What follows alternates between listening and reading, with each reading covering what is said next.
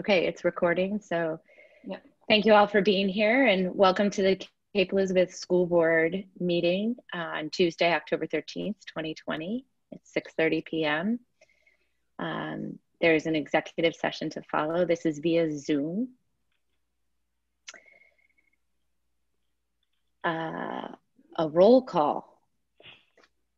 Um, before we have the roll call, we have the strategic plan goals that we have decided to add to the agenda during our meetings. Um, just as a reminder, since these are the goals developed, the year plan uh, through the future search and over 100 community members. I'm not going to read them all. They are in the agenda packet, but I will review the subtitles. It's about health and well being, global competency, multiple pathways and definitions of success, safe, sustainable, and effective facilities, and environmental responsibilities. So the roll call at this time, there is Hope as an attendee, Jen. I see her now. Okay, I'm pulling her over. Um, is Heather Altenberg here? Kimberly Carr? Here. Phil Saucier? Here. Elizabeth Scifres? Here. Nasser Shear is not here. Uh, Hope Straw, are you here? I'm here. Great. Welcome, Hello. welcome. And Laura Danino. I'm here. Great, thanks. Uh, can we stand for the Pledge of Allegiance?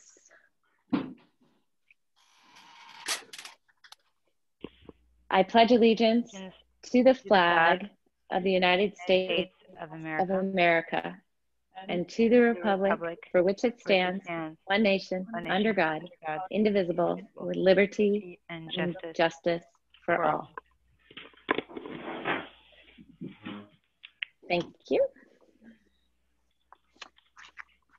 Are there any adjustments to the agenda? Heather, it says on the, on the top that there's an executive session, but there isn't one. So, Okay, thanks. Um, we'll take that out. Are there other adjustments to the agenda?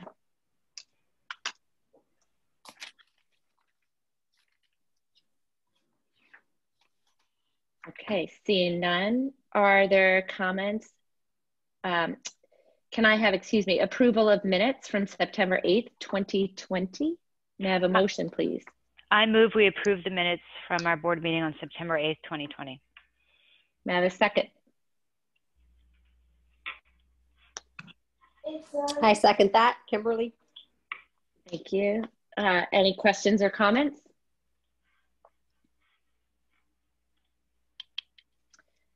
Okay, so voting, Heather Altenberg, yay. Kimberly Carr, Yay. Phil Saucier, Yay. Elizabeth Scifres. Yay. Nasser is not here. Hope Straw Yay. and Laura Danino. Yay. Thank you. Um, so now we have um, we have comments from the public on agenda items. Um, so Jen, how will this work? I see, okay, attendees. Emily Garvin, I believe I have to allow you to talk. Sorry, I'm talking out loud. Right, can you hear me? Yes. Yes, I can hear you, Emily. Okay. Go ahead. Thank you. All right. Um, great. I am Emily Garvin. I live at 76 Oakhurst Road. I have a sixth grader and a sophomore in the hybrid maroon. Um, my question in a roundabout way, I can kind of probably make it fall under the Maine School Board Association resolution uh, related to the remote learning uh, agenda item. Um, but I'm just grateful for a little bit of latitude here um, to ask questions about the Wednesday programming. Um, Wednesdays are a slower Emily, day can I in interrupt you for one second? Yeah, yeah. Um, I just want to say that uh, public comment is not a back and forth in this format. We're happy to listen to you and take your yeah, questions. Yeah, absolutely. Yeah. Okay, I just Yeah, want to make that's what I sure was- that um, Oh, no. you're not Yeah, yeah. expecting a response. Okay, Nope. perfect. Nope, not at all. Thank you.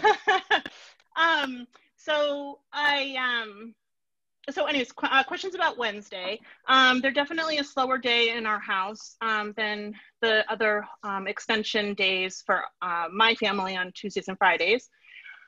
Um, and I'm not asking for more extension work on Wednesdays by any means. Um, and I do understand what Wednesdays are for in the bigger picture. Um, however, I had a slightly different impression of how they would be used in the shorter weeks. Um, I listened to all of the calendar discussions over the summer, and I thought that Wednesdays were going to be used a little more creatively as needed um, throughout the school year. I know that now they're being used for teacher and staff professional development. Um, I, we just got an email that the sixth grade, at least the sixth grade, I'm not sure if more grades, um, are taking some standardized testing next Wednesday from home, um, which will be interesting, um, but I'm open. Um, so the confusion is just really with these short weeks, and we have several coming up, including the one that we're in right now. Um, back when I went to order lunch for October, I noticed that Wednesdays were remaining a buffer day like any other five day uh, school week. And in just, I know that it wasn't official meeting discussion, but over the summer, um, there had been some talk about on these short weeks that the Monday, Tuesday, for example, on this particular week, would um, the Monday, Tuesday schedule would get pushed to Tuesday, Wednesday to allow, so again, using Wednesday as like this flex day.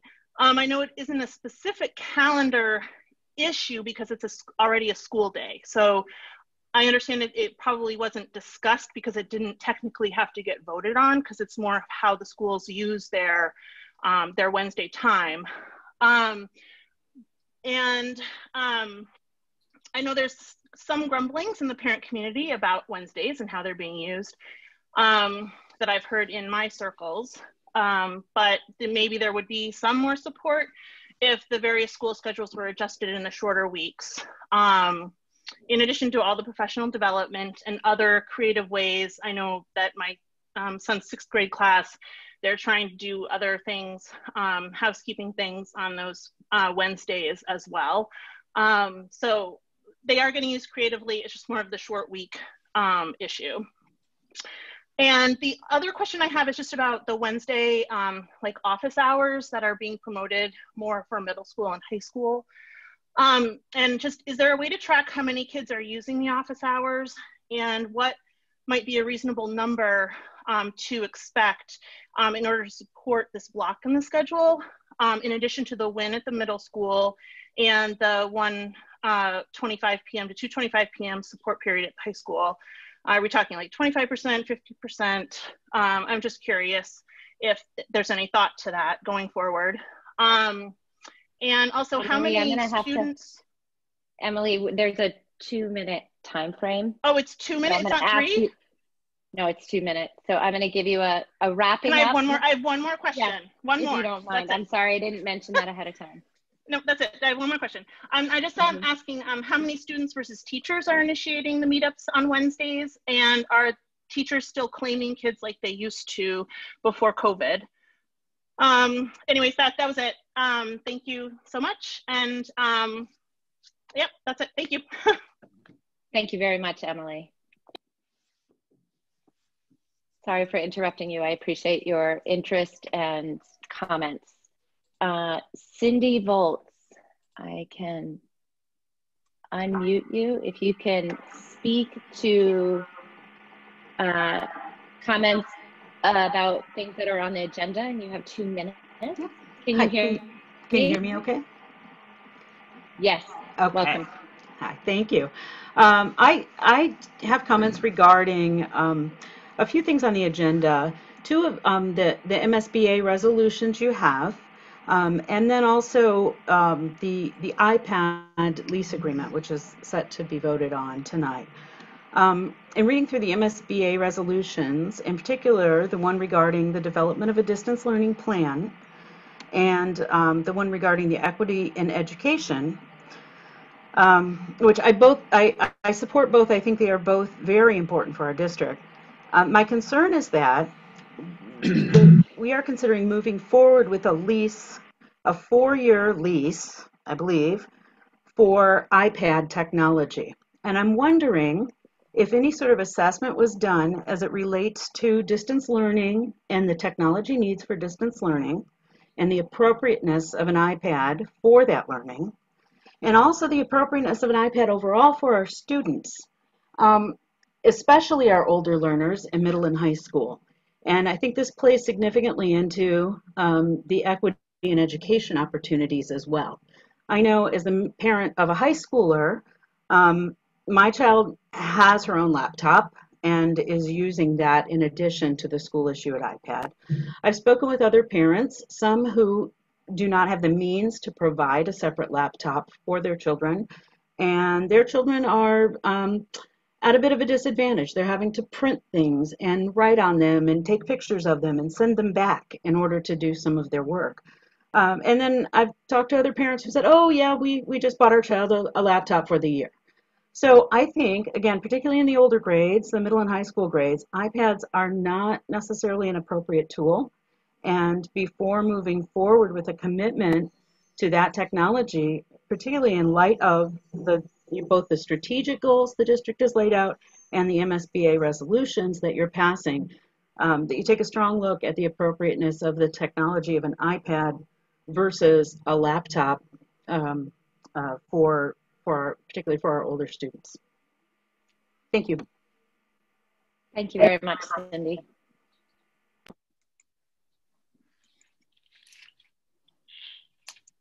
Um, okay, Win is next.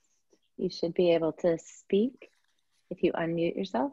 I think I unmuted myself, yes. Yep. Okay. We Uh, can hear you. You're a little bit quiet, but I can hear you. I'll try I'll try to yell. That's a little better. Oh my. All right. So anyway, I just wanted to comment. Uh, I wasn't going to comment, but I want to comment on this Wednesday um, thing very quickly. And one of the things I, I think that um, everyone has to realize is that doing this type of learning, and or actually more doing this type of teaching, I'm sorry, is um, takes a lot. It's a lot more than what you would ever think it's learning it's not only just learning the technology but manipulating the technology using the technology in the classroom um, trying to keep um, an eye on kids on screen as well as kids right in front of you. Those are all um, incredibly draining and i would say that um, um, i'm i'm worn out every day. The wednesdays have been good for um, for the uh, for prep uh, preparation and this is particularly true in the elementary school where um, teachers have lost um, prep time this year. Um, they're down from 45 minutes to 30 minutes now.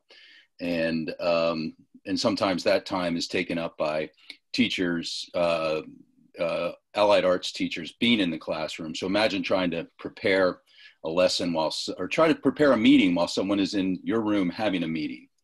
So the Wednesdays have be, been incredibly valuable to teachers um, for the for the reason of uh, especially the elementary school teachers for getting um, classes ready. And I know that the policy committee um, uh, I'm hoping is addressing the the planning time issue, um, but it is a big thing, and Wednesdays are important. And I'm not denying that there's been some loss of instruction, but that's part of um, this whole mess. Um, but uh, just just carefully consider what happens with Wednesday, um, and uh, and and pay attention, please, to what teachers have to say about um, how the schedule is working. Thank you. Thank you, Ed.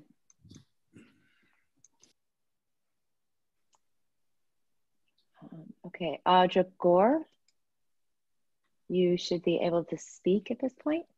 Thank you. Yes, Audra Gore, 215 Two Lights Road. I wanted to say that I'm delighted that added for consideration for the 2020-2021 goals that the work of the Diversity, Equity, and Inclusion Task Force found its way on there. So I, I'm very grateful. Thank you for adding that. Um, so as a parent, yay. Thank you. All right, thanks for sharing that and the endorsements.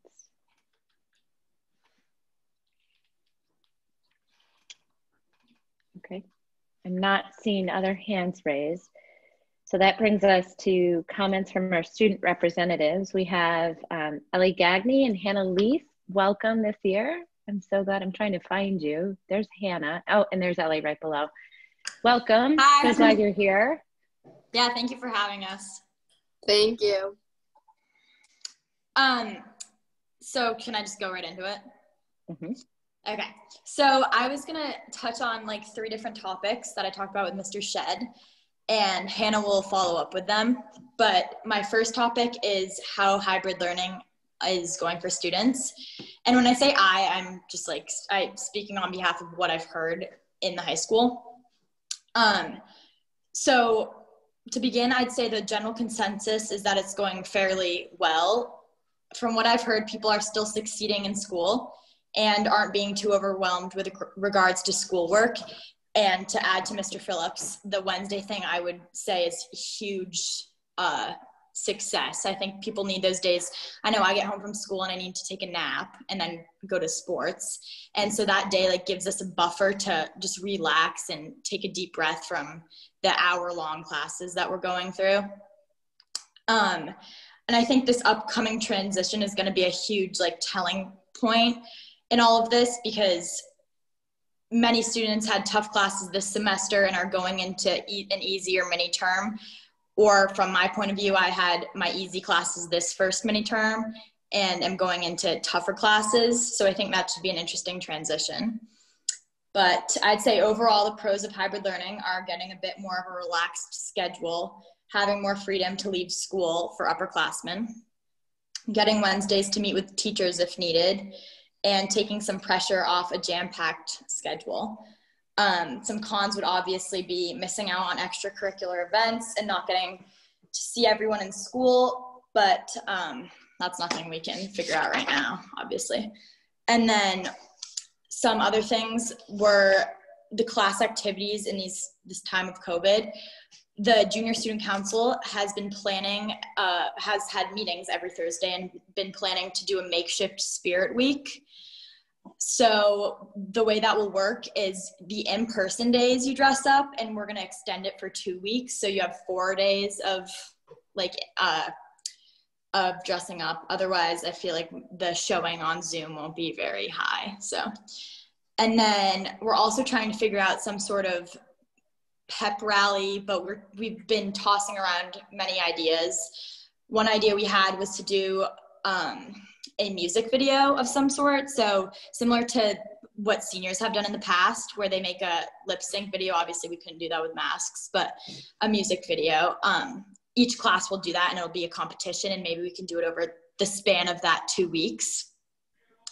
And then we are also the junior student council is also planning prom. And right now we have a venue secured, which is the landing, which Hannah, that her student council paid for last year. And instead of giving them a refund, they said it could carry over to the next year. So we have that uh, all booked, and then we're gonna find a DJ, but we're trying to take it slow right now since we obviously don't know how everything's gonna play out. And lastly, to touch on the athletics going on in the clubs, um, we had a video we watched an advisory, I think two weeks ago, where I think it was mostly for the freshmen and sophomores, I guess, about uh, all the clubs that the high school provides. But I believe it went pretty well, although I haven't heard of many club meetings yet, at least for what I'm in. And Hannah's going to talk about this more, but the athletics are providing definitely a sense of normalcy right now. And I know I can speak for the soccer team by saying we are having a lot of fun and the that hour or hour and a half we're out on the field is the only time where we get to like breathe and take our masks off and that's been very important. And then along with the soccer team the football team is still getting practices in which is good. And uh, i've heard from them that they're still having fun despite not being able to play real games. So yeah. Thank you Hi, I'm Hannah Leese. Um, I'm the senior class president. I just wanted to take a moment on behalf of the school to thank all the school board members for your hard work during the summer, as well as right now to give us the hybrid learning and give us a sense of normalcy, as well as a shout out to our teachers for working so hard and allowing us to learn and just feel normal in the classroom and giving us the need, the help when we need it. Um, so I'm going to give you guys a few updates on the class as well as the school as a whole. I've been super impressed with our school with following all the safety guidelines, wearing our masks, social, social distancing, as well as following the arrows. Um, I think the senior privileges and upperclassmen privileges have been extremely nice with being able to go outside, get a breath, and just have a break in between our classes. Um, our teachers have been doing a really great job in learning all of the online stuff and being able to teach us succinctly and in a proper manner where we can still learn in a fast paced learning environment. Um, I think the difference between March and now is astronomical, and I'm so proud of our teachers for all their hard work with that. Uh, the teachers are really challenging us with the curriculum, especially with the mm-hmm. mini term schedule. Uh, the AP courses have a succinct, succinct course now, so we have to do a faster pace. And a shout out to all those AP teachers for working so hard for that because I'm taking four classes right now, AP classes, and I really appreciate those teachers putting in all that hard work. Um, echoing off of Ellie, the sports have been going extremely well. Everyone has been following the rules. I think that the sports are so, so important to make sure those happen in the following seasons, including the winter months, even though that COVID could get higher, because they give us a sense of normalcy. And I've heard, I'm not doing a, a school sport at the moment, but I've heard from many of the fall sports that it's been giving them a sense of normalcy and keeping their mental health sane. So, um, and then as well, last week we saw a video as well as a presentation by Mr. Cohan that explained all of the clubs and I think that's been super helpful, especially for the freshmen who this is their first experience in the high school. And I think looking back into me as freshman year, this would be extremely difficult to adjusting into high school. And I think we've done an awesome job in allowing those freshmen to feel at home here. Uh, a little update on the senior class. We have handed out our senior t-shirts. We had a senior sunrise a few weeks ago. Uh, we're working out the details for a senior class picture. We're thinking about doing the maroon and gold groups separately and then photoshopping those together as one. Um, we're trying really hard to come up with creative senior activities that follow the main guidelines, but I think we will need your help to make sure that these senior activities get approved and passed because this has been extremely important to us to making sure our senior year is somewhat normal and we get to end our Cape Elizabeth High School experience on a high note. Um, a few things that I want to touch on that I think we could improve on or just to bring up to think about is trying to balance our mini terms. So, for example, I'm taking four AP classes this mini term, and I know some of my fellow students who are, have two study halls, PE Adventure, and a math class. So I think trying to work on balancing these terms workload wise will help immensely in people's mental health and making sure they, they get all their work done. I understand that it might be difficult to for scheduling, but I think that keeping that in mind is extremely important. And then a thing that was brought up earlier in the meeting is the importance of the Wednesdays. Um, one thing I've noticed, especially with myself, is how fatigued I feel after the remote days. The difference between hybrid learning days in person and online is extra like the difference in feeling fatigued and tired is extreme. For most at least for me with remote days I, I need a nap. After my five hours online i need a nap and then i have six hours of homework to do online so i think having those wednesdays is a must to be able to meet with your teachers catch up on work and even get a few extra hours of sleep to make sure you can finish the week strong I think one thing as a school that we can work on and the school board can help as well is making sure we check on the full remote students to making sure they are doing okay mental health wise because you we they don't have the social interactions that the hybrid students do so I think that's super important. And then the last thing I had to bring up was making sure that the CP and honors kids get to complete their entire entire curriculum because the AP students have a um, compact schedule. So we are on a tight schedule to making sure we're learning everything, but to make sure that the CP and honors kids also get to complete their education with those classes. And that's it for me. Thank you.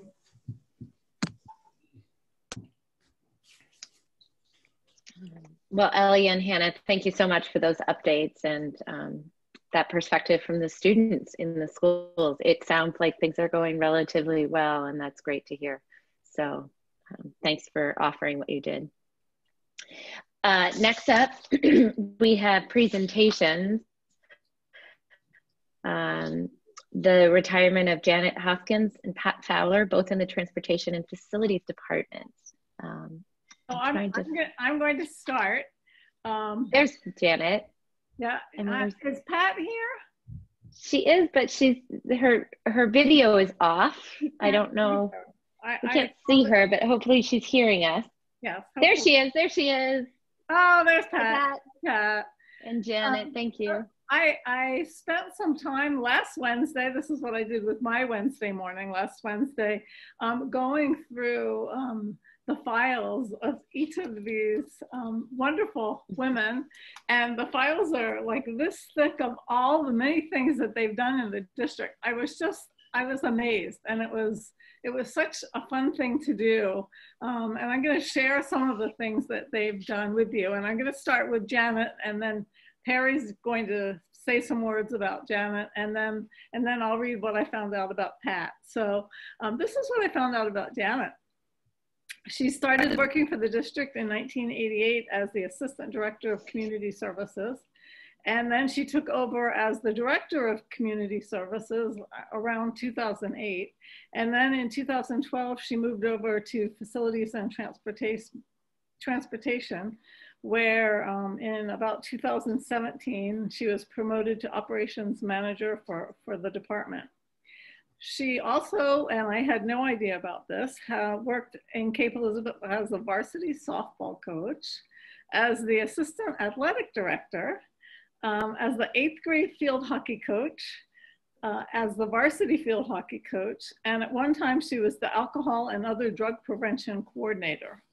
And she helped to organize several Cape Elizabeth Memorial Day ceremonies. And another interesting fact is that um, from 1984 to 90, 1992, she served as the Maine Field Hockey Association secretary. So I found that was, out that was, thought that was really interesting. So Janet, you have been busy. So Perry, do you, do you want to add some things about Janet? Uh, with, with both Janet and Pat, I could go on all night long and just consume your entire meeting. I, I, just I do have I mean I, I can't really put it into words. I mean uh, Janet has always always gone the extra mile for me. Uh, ever since the day that I walked in the door at Cape Elizabeth, um, I walked into a department that um, it, it, there, there was a lot to take on with, with, with, our with our facility team that covers all the town buildings there's just an extreme amount of information and both her and pat were there to provide that information to me and help me come on board and get up to speed. It took me probably at least a year to get there but uh, she supported me all through the way and still does to this day. Um, let's see I, I, just got a couple bullets here. Um, oh, janet has always done more than than I'll say what was required of her position. And I'll give a for instance. Um, I'm I'm also the town liaison to the energy committee, and one day I came back to the office after the energy committee the night before loaded me up with all these tasks to do, and uh, to gain them information on all the electrical usage in the buildings and fuel usage. And I came into the office and I said, Janet, I said, is there any way that you can you know, pull this information together for me. Uh, they're looking for a year's worth of energy usage on every single building we have within the town. And about five minutes later, she comes back to my desk with a spreadsheet. Here, here, everything. This is all you need, and then added fuel to it as well, including propane and oil. And I mean, it's just the, the documentation that she carries with her is just uh, second to none. Um, let's see. I, she knows my big thing is payroll. Uh, payroll in our department is a difficult thing to do, and she has always been there for me. Um, I, I will tell everybody here and confess there's been times where Janet has done payroll for me while she's on vacation. Just because she knows I don't like it that much, and it's just it's a difficult thing to do, but she's got it figured out and uh, and, and is pretty smooth with getting it done quickly. Uh, she's always taking care of the site supervisor training, uh, training other people to work in our buildings after hours and seeing that they have all the safety training needed. Um, taking care of the weekly schedules throughout the town, sporting fields, things that are scheduled within the buildings, always seeing that that's covered so that we don't have double booking in places. Um, and helping out with Beach to Beacon and, uh, and preparing for that as well. I, I, believe that's more of a, a volunteer thing, but that just goes to show that uh, always going above and beyond what's asked of her. Um, very supportive. Uh, we have David Bagdasarian, who started uh, in our office, I believe, a week ago, and was very supportive at helping to get him on board. And uh, I believe is working in the business office now. And I, I, I said to the people in the business office, my loss is is your gain. So um, that's all I got. I, I'm gonna wrap wrap it up when I finish with uh, Pat, and uh, that's it. Anybody else have anything they want to say about Janet?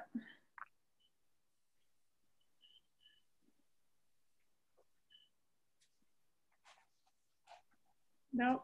One of the things that um, somehow Janet always knows when I'm stressed, and I don't know how she knows this, but from time to time, I'll get a little card from her with some encouraging words, and I have so appreciated that. So thank you, Janet. Now, this is what I found out about Pat. Pat has worked in Cape Elizabeth since 1987 when she started at the Thomas Memorial Library as a secretary receptionist. And then she was a substitute teacher. And then she worked several years as an ed tech one in the middle school and as community services secretary. Uh, she was attendance coordinator at the middle school, yearbook advisor at the middle school. Uh, uh, she was a secretary at the high school and a secretary for community service services. And her it seems that her job has had many different titles um, over there in the transportation department. And were you a bus driver at one point, Pat? No, okay. Um, system scheduler, transportation supervisor, and transportation scheduler. So I'm not even sure if those are different jobs or if they're all the same job, but um, uh, anyway, she's, she also has been a very busy person um, in Cape Elizabeth. So thank you, Pat, for all you've done. Perry? Yeah, I, the the facilities department requires I, I, all of our staff is is kind of required to be a little bit of a chameleon and, and take on any job. I used to plan my day before coming into work. I don't even bother anymore because it's usually completely opposite of what I was thinking it was going to be. Um, but you know, both Janet and Pat have taken on those roles as taking on other duties that may not fall under their job description, uh, and they've done it great. Uh, Pat has, you know, on, on a daily basis is always organizing uh, the, and scheduling the drivers. Many times at the last minute, we'll get a uh, a sporting event or a field trip uh, thrown at us at the last minute, and she's always going above and beyond to scramble and get a driver so that um, we can provide that transportation. I will say that she knows every road in Cape Elizabeth, and I'll probably throw some goat paths in there as well. Uh, she knows she knows all about the ins and outs of Cape Elizabeth. Um, and also, uh, let's see. Oh, and uh, there's been a, there's been quite a few times, and I, I can't point one out, but I know it's happened. Uh, yeah, a few times that uh, she's taken care of business outside of work hours. It, it, may be something as simple as driving by town hall and seeing that some lights were left on. Um, and we'll just pull in and, and make sure that those lights are off so they're not on for the entire weekend. Just just little things like that as part of being a resident within the town, but but goes above and beyond even outside of hours and and not asking to be compensated in any way for that work. um, just recently, and I, and I love this. Uh, anytime I can get uh, paperwork simplified, uh, I'm, I'm a big fan of it. And she's figured out a way to uh, simplify the state required annual reports that I need to do, and basically has taken the what you see on the web page and printed it out and just filled in the blanks so it's really verbatim. When i go to when i go to do the annual reports all i do is put the numbers right in the boxes where they belong. She's done all the all the labor for me. And um, let's see and and just the overall scene of the sa- safety of all the students staff coaches community members anybody who rides on our buses um, she's there taking part in the bus drivers training. She's getting training at, um, through webinars and different uh, events that she goes to. Uh, sometime we have an annual meeting up at Sugarloaf that she'll run up to and and uh, come back with some valuable information from that. So yeah, it's it's uh, she's always been there for everybody who rides on our buses and seeing it they're in the uh, safest transportation possible. Um, both both Janet and Pat are, are for the most part irreplaceable to me. I have been extremely blessed to to be able to work with them. They're two of Cape Elizabeth's finest employees, and um, they will be sorely missed. Um, I'm hoping they pop in from time to time and see if I'm drowning. but yeah, that's it. I just wanted to say thank you to both of you for uh, my four four and a half years here. Uh, it's been a pleasure, all mine. I think we also have to acknowledge the amazing job Pat did at the end of the summer with doing the bus routes because she had very little time what a week or maybe maybe two weeks at the most um, to get those bus routes under control and she did it and the bus drivers were smiling and I didn't I didn't hear any complaints about buses. So that, that was an amazing feat. Um, that was it was just it was just amazing. So Pat and Janet, we're really going to miss you. But Janet's coming to visit us in in the business office, so we're so happy to have her.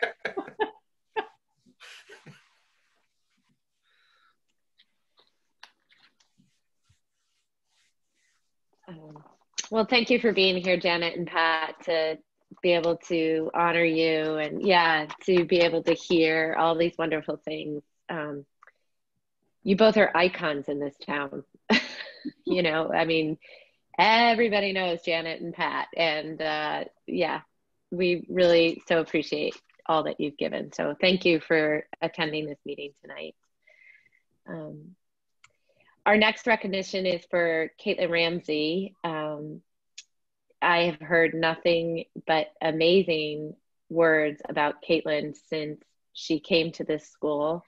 Um, the positive influence she's had on students over the years and this program and how she's built it up and the respect she has gained from her students and staff members and she is formally recognized as Maine Music Educator of the Year. So congratulations, Caitlin. Caitlin, thank you for being here. Um, I don't know if there's anybody else who would like to speak. Troy, maybe, or Troy has something to say. I think. Sure, I think I can do that. Can somebody make me a co-host? I got a couple pictures that I want to share. Uh, oh. if I can do that, it's feeling pretty. I can do that. So while while we're trying to do that, um, I had done a little research today. I had made great plans to talk about the history of Caitlin. Then I just heard all of that, very much like a retirement thing. So I'm not going to do that. I'm going to scrap the Caitlin's been here for seven years and all of that. Um, I would add that being fairly new to the district, it was pretty intimidating walking into the office with Janet on one side and Pat on the other. it's like you could just tell there was a lot of knowledge there and and how helpful they are. So they will definitely be missed, even though I'm, I do not work with them every day. It's it's you know where the you know where the strength of the district lies, um, and they're a huge part of it. So they definitely will be missed. Um, as far as Caitlin goes, I don't know what else to say about Caitlin except for just how incredibly strong I find her to be. Um, she has that unique ability to challenge kids, very young kids, fifth grade, sixth grade, um, without pushing them away, which I think is a complete skill. Um, and they know that at her heart she believes in them and wants them to be great at whatever they do. So I think that really has a lot to do with it. Um, I'm going to try really quickly, and then I'm. But I just want you to see a couple pictures of what the uh, music teacher of the year um, looks like. Uh-oh. right now and during these times, our Allied Arts team is working completely remote. So I don't know if you guys can see that. But, um, that was this morning. So I went in this morning. I said, "Hey, sorry to do this to you. I know that you kind of hate this, but I need to take your picture." Um, so you'll see there, like this took hours for Caitlin to figure out how to not just how to teach, but how to do it and, and still be great. Um, and all of that stuff is borrowed or stolen. I'm not sure, but um, you know the ring lights and the monitors and the speakers and and I just I asked her, you know, I kind of got her picture because she couldn't get away. She's kind of trapped in that little place, and um, to see how she manipulates all of that and and to teach the different courses and to have you know move in a drum or to play you know the trumpet or whatever so that kids can see it and the fingernail polish on the keys and all of the things. It's just it's really i find it to be amazing you know that she's been able to do that. And there's another shot of of what that what she goes through every day because she's full remote um, and how much and how just how impressive that is to me is is beyond what i can comprehend doing every day. Um, so i asked some people to send me some quick messages um, and really I, the one i got and she said i could reword it but i'm not going to i think it's really important to for everybody to hear. This is from Emily LeBourne, so it's Caitlin's teaching partner essentially in the music program. Um, she said that 14 different people wrote letters of support for Caitlin to receive this award. Um, Emily had originally reached out to four people, and then more and more past and current students and parents and colleagues heard about the nomination and wanted to write letters of support. Um, Caitlin does not take time off from her job.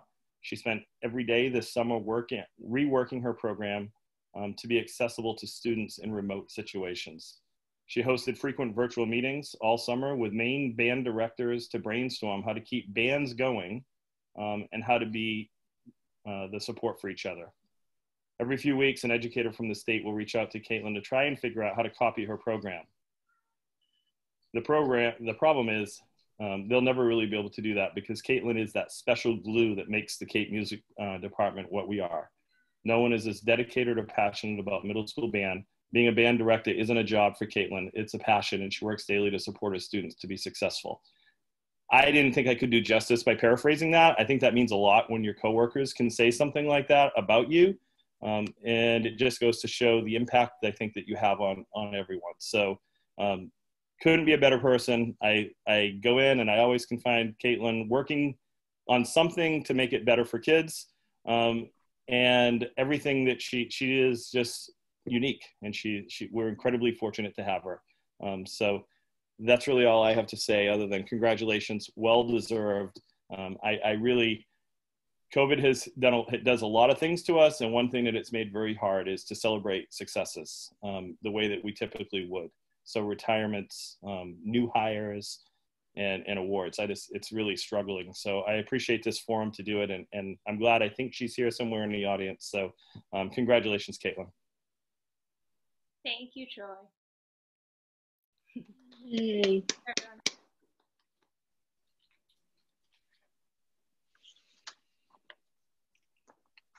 The next on the agenda is the recognition of the Pond Cove Elementary School Blue Ribbon Award. Um, Jason, will you, are you able to speak to that? Congratulations. I can. Thank you so much. Um, I it it really is an honor, um, and you know there's been there's been some great newspaper coverage and and there's a lot of information out there, but I really tonight wanted to just speak to um, the the the folks that really make it all happen. And so, of course, I think in a school, in any school, um, you know, we have our teachers and, and teachers and support staff, and we have our students, and we have our parents. And um, I just I can't say enough about all three of those those groups. Uh, our teachers and and support staff uh, really make the school.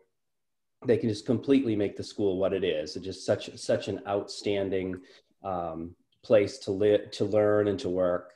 and um, you know our students are are outstanding as well, and and they come to school ready to learn, and we we owe that to the parents. Um, and in addition to you know sending sending us students who are really ready to learn, um, our parents are highly involved. They ask great questions. They push us to be our very best, and um, I think you know that's how that's how we accomplish this all together as a team.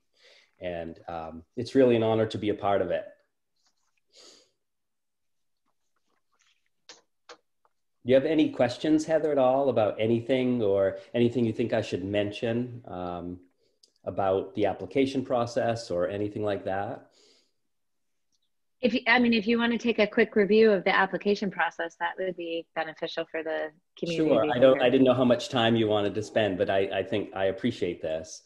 Yeah. Um, so the application process is quite rigorous, actually, where um, we are we are nominated based on you know first we were nominated as a high performing school based on our performance, but then the the application process is really several months long, and um, it's it's actually um, it's public so i'm not sure if we have it on our website yet but um, if not we'll have access to that on our website and everyone can see it um, it the application process involves several different staff members because it's so comprehensive um, we we collaborated with different departments um, throughout the school to complete all the different questions and sections about um, academic programming, about uh, student supports, about um, the arts, every aspect of a school.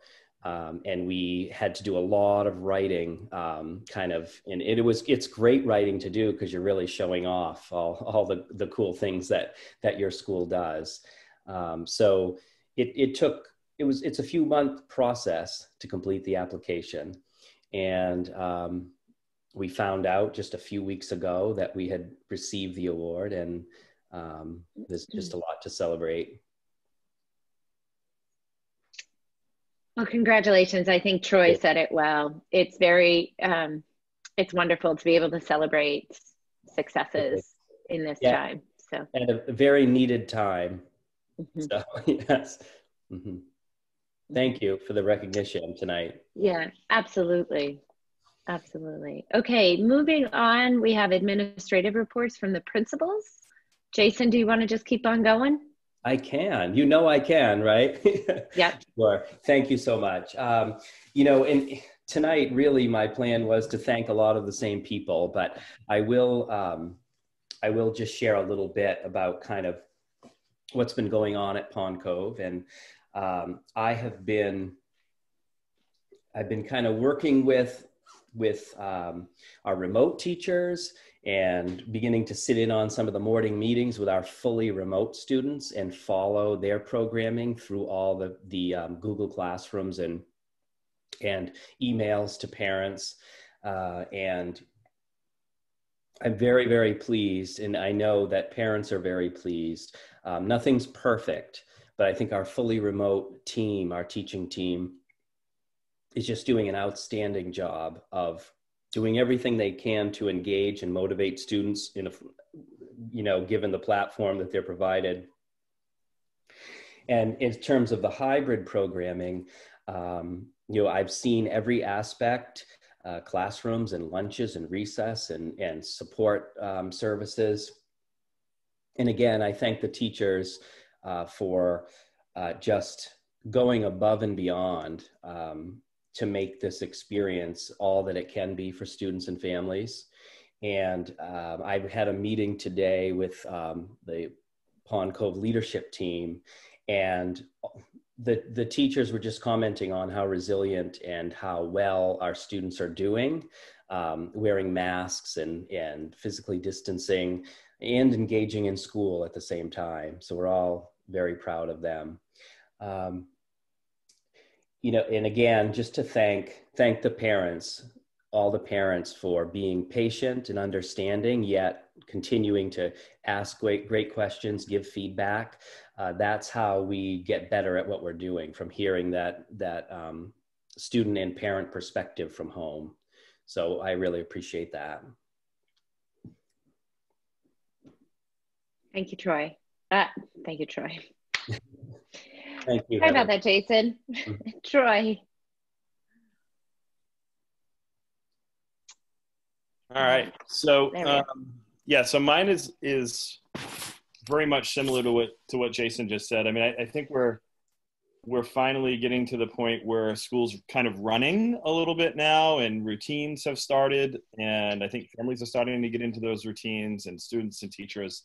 Um, I would agree uh, with what Win. I'd kind of echo what Win said, and and the student reps. Just it's we have to remember it's a very different experience. Um, we're still in a pandemic, and there's a lot of stress. There's a lot of stress within the community. There's a lot of stress within our teachers' own lives, and and it it is a challenge, and it's very different. And things um, we're asking people to teach in a way they've never taught before, and I think we're changing education for the future. Honestly, um, we're just living it by force. It's not a course we're taking; it's reality.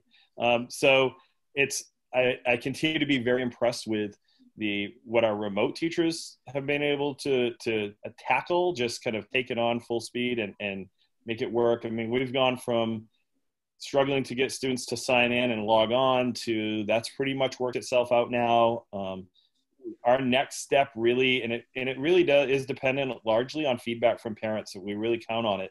Um, we're working, I think, as a district, but I know at the middle school we started talking about what are the what are the what does Google Classroom have to look like, um, and what is some of the common language that parents are needing and searching for.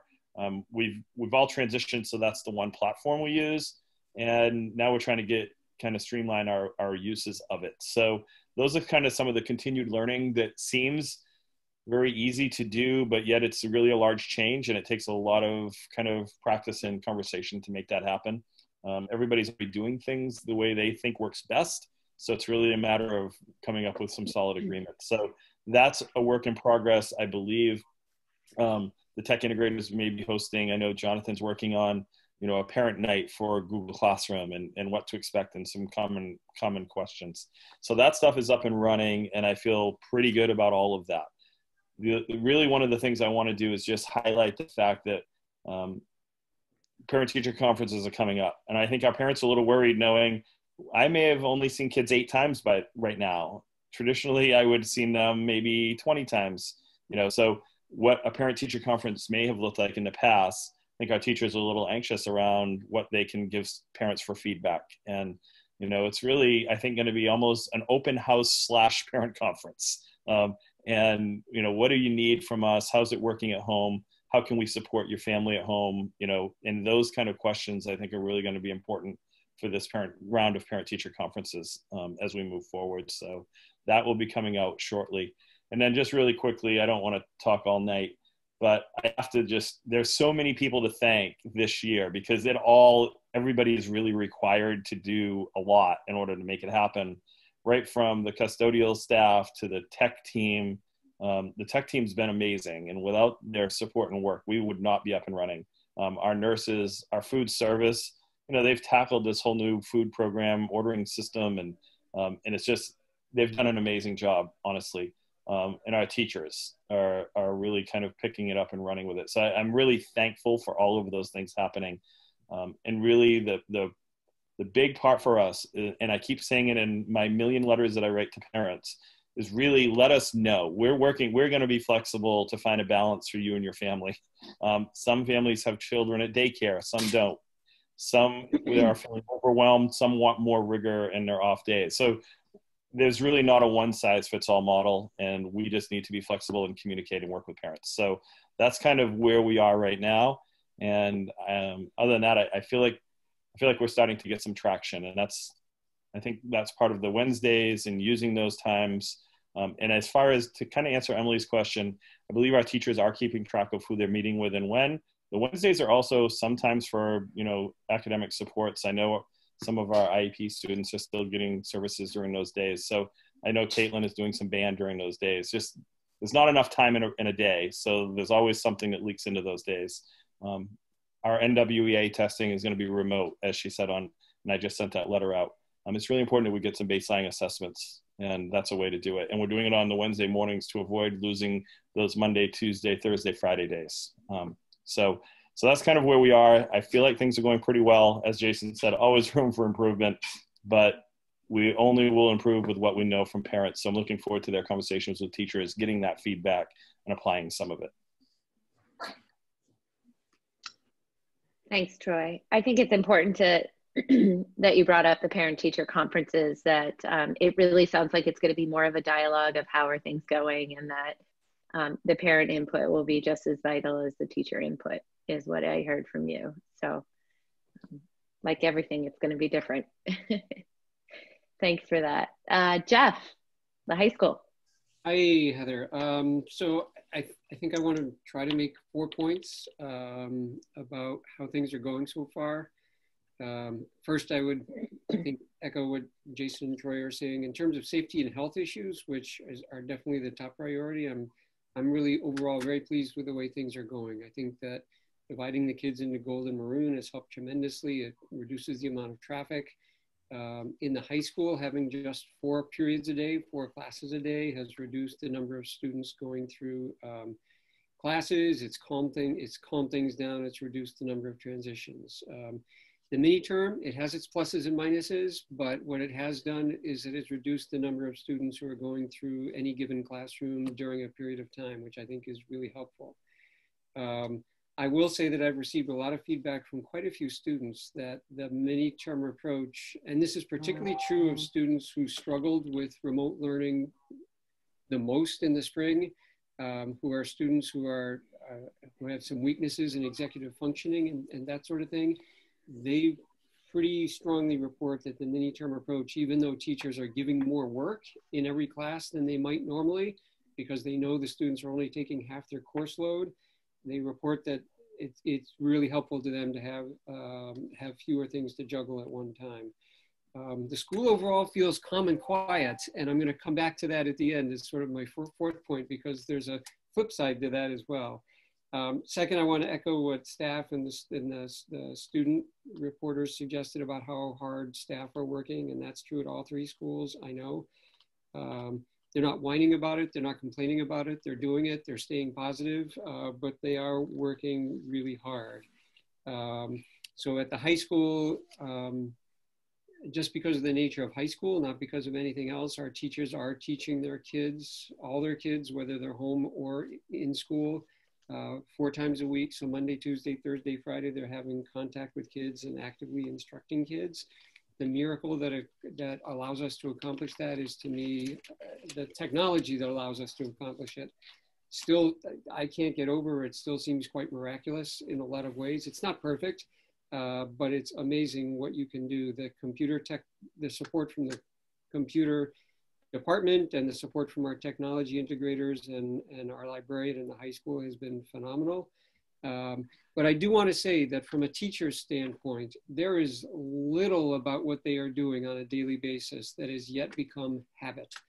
Um, it's like driving a car uh, when you first start learning how to drive a car. You have to think about everything.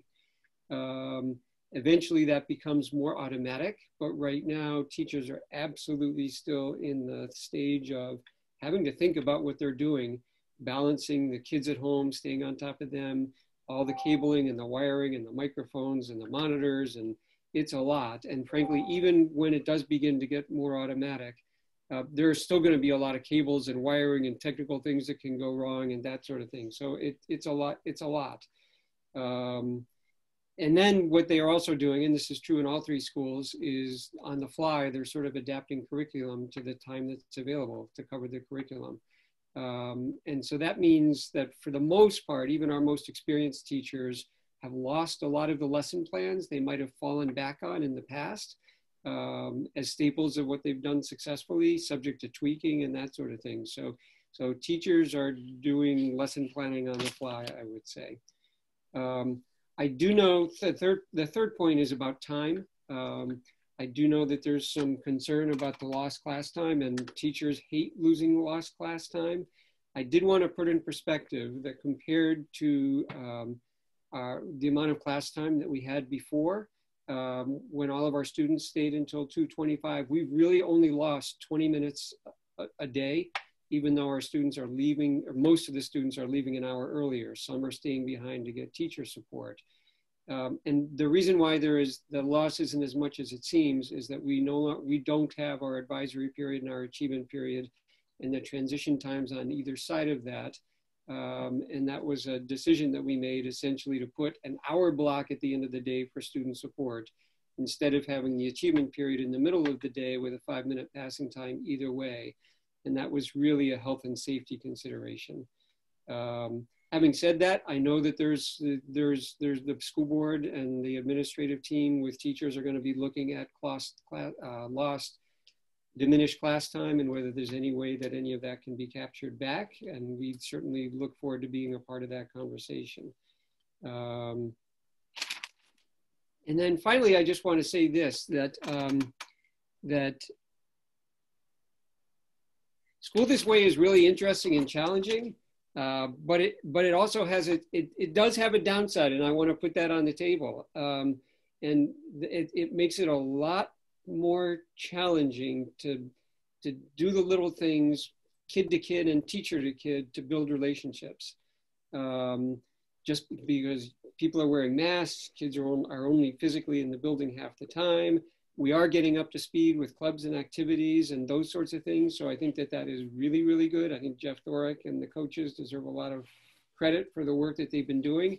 But the hallways of the school are almost eerily quiet compared to what they usually are.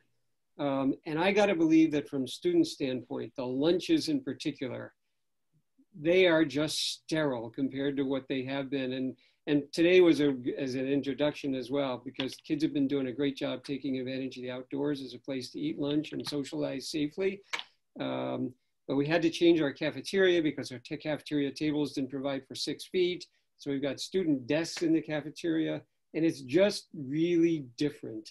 Um, and I'm sure that all the students and all the staff look forward to the eventual return of everybody to school every single day where we can really do that that really important job of, of caring for kids and being out there and seeing them take their masks off and talking with them in a much more natural way. There are definitely some losses for all the celebrations that I absolutely have and all the, and I, and I think are well deserved for both the way that students and parents and, and, and most particularly the teachers um, have really embraced the challenge and are doing the very best job they can. So I think that's my report. Thank you. Thank you, Jeff. Um, Marcy, as our business manager, would you like to speak? Please. Yes, thank you, Heather. So I'd like to start with where we are at the end of our first quarter for this fiscal year. The normal spending pattern would be 25% by the end of September and our general fund expenditures are at 22%. So, and I looked at the average for the past four years. For uh, the last four, four years at this same time, we the average was 23% spent for the last four years. So we're right on target. We are balancing right now, making sure that we have all of our COVID related expenses um, in the grant fund and our general fund trying to go along as planned. And when I compared some of our major categories, slight changes in our categories, um, I just wanted to let you know that we're running ahead in a few and then behind in just a couple. And um, we're having some savings in our other instruction because of the officials that we're not having for games. So we're saving in that. Um, we we're having a little bit of a loss with the booster payments. So little things like that. Um, we'll be catching up probably with our student and staff support compared to last year. We're a little bit underspent com compared to the 29% last year. We're at 26% right now. And with our facilities category of seven, uh, category seven, this point in time, we're at 24.2% spent, and last year we were at 38% spent. But right now, we entered the year cautiously with our facilities projects. So we will, um, we started the first quarter with a cautious uh, effort towards things that needed to be taken care of, and we'll see what time uh, leads us to in the next few months. And Perry could probably uh, follow up with that, but it will be uh, catching up as this the school year takes place. And uh, that percentage will probably come back right in line. So that's where we are with our expenditures. Are there any questions right now? Yes, Elizabeth. Elizabeth. Thank you. Um, since the building committee is about to get going again, and this sort of falls under the the financial side, would you be able to kind of remind us and remind the public about the um, state revolving renovation fund projects that we applied for last year? And um, what have we what have we done and what have we spent toward those this year? Yes. Yes. So last year we were awarded by the state $390,429 uh, $429 for the school revolving renovation fund and we that was for six projects they gave us six out of the 12 that we applied for. And at this time, we have completed one of the projects. We completed the intercom project, the sound system, and that was for 44,410. So that's completed. Five of the projects during COVID, we had some problems getting uh, contractors to bid for the projects. So what we decided to do with the architects and engineers is to just take um, some time out with those five, and they are going to start the bid process um, now.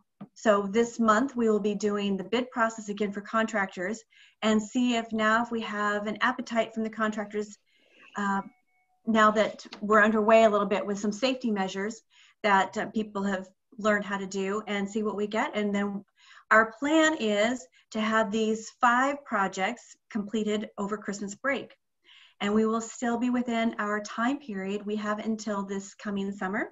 That was going to be my question. yes, we have until July of um, 2021, but we definitely, that's the goal, is to have that process, all of these completed by this Christmas. And then we will start um, being able to pay the, the loan on the, the small portion that we have to pay back. Thanks, Marcy. You're welcome. Anything else? Okay. Thanks, Marcy, and thank you for that reminder. Um, so Kathy is the Director of Teaching and Learning. Kathy Stenkert. Hi, good evening, everyone. I am going to update you on um, three different areas. Um, professional development is the first. Our uh, first half day PD Wednesday, Professional Development Wednesday was last Wednesday. It was rescheduled from September 30th when the schools lost power. Um, and uh, we had so many presentations planned that it just wasn't, wasn't feasible. So we met last Wednesday instead. And uh, representatives of the recertification committee explained the new process for earning recertification credit. This is a very big deal. Represents the first change um, in over a decade. Um, and the uh, the reaction to what those representatives had to say uh, was was very positive. Um, it's something that we've been working on for about a year. Changes are intended to make the process more meaningful, efficient, and fair by emphasizing reflection over forms uh, using Google instead of paper. So everything will, will be electronic um, and allowing district and school-based professional development to count. Um, which uh, just as far as fairness goes, just just that was a significant improvement. So, and then after they spoke, we had representatives of the evaluation committee review, reviewing elements of the evaluation plan, including the decision to start mini observations this November. This was to give um, our educators, you've heard tonight about how much, um, really how much our teachers have had to do to of completely revamp um, what and, and, and how they teach. And so they asked for a few weeks um, to, to, to uh, feel a little bit more confident what they're doing um, before, before those mini observations began. And uh, we were very happy to, to honor that request. Um, and they also reviewed how to use TeachPoint, our, our uh, data management system for supervision and evaluation. And, uh, and then finally, our educators watched a video on accessibility considerations when teaching online. Clearly, how to teach in an online or hybrid uh, learning environment is going to continue to be an important focus of our professional development this year. So the second area I want to update you on is uh, English learner services and gifted and talented services. Um, screening of our potential English learners has been completed. Currently, there are 21 students who are receiving EL services, 12 at Pond Cove, 4 at the middle school, and 5 at the high school. And uh, we have um, one teacher and a half-time ed tech providing those services. As far as gifted and talented goes, currently there are 44 students in grades 5 through 8 who are receiving GT services. I think you'll recall that the identification process for the fourth graders had to be suspended last year because of COVID-19. Um, but we, uh, we were able to resume that screening and identification process in September and plan to start services for those identified, excuse me, for identified fourth graders by the end of this month. And then finally, I wanted to talk briefly about the Diversity, Equity, and Inclusion Task Force. Uh, educators who expressed interest in these issues last spring and summer and who participated in related events were invited to attend the first meeting of the task force, which took place last week. Um, and we began by reviewing the school board's uh, charge in, in adopting the task force um, to create and implement an action plan designed to improve diversity, equity, inclusion in the Cape Elizabeth schools with a focus on curriculum, professional development, and climate culture. We had 18 people attend that this initial meeting. Um, and because they are people who have already engaged in this work, we spent times on what their hopes and fears are uh, for this initiative for this initiative and on exploring what we mean by diversity, equity, and inclusion.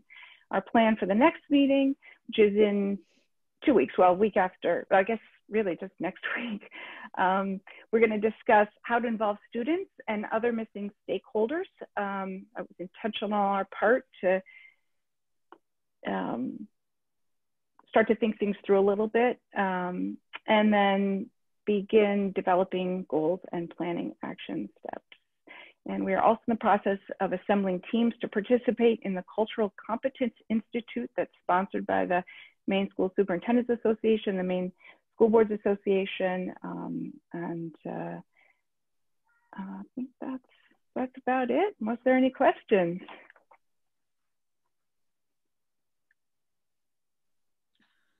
Laura? no, I was reading the agenda here, and then this one tapped on my knee, and I didn't hear her at all. Yeah. One of your students yeah, here. Yes. no question. Any other questions for Kathy?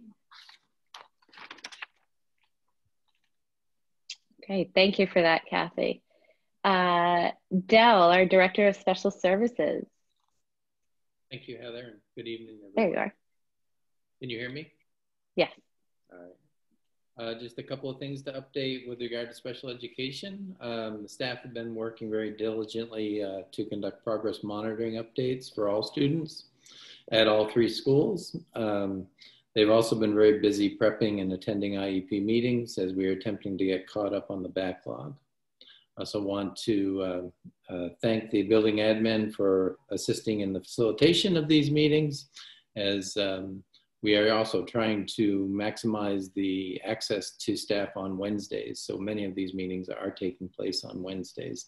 So it's the least intrusive with regard to students, student programming. Um, staff are settling into a working routine with regard to the hybrid remote model. We have started some discussions and planning with regard to what a transition to full remote would look like at the individual student level.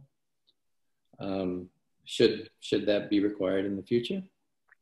And um, the number of students, students we are currently serving in special ed are 171 students across the district. We have 16 students in referral and two students are outplaced.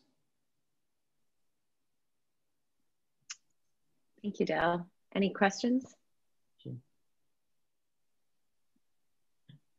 I just want to thank you, Dell, on for all the work that you're doing with the special education and the services and providing for um, this particular group of students.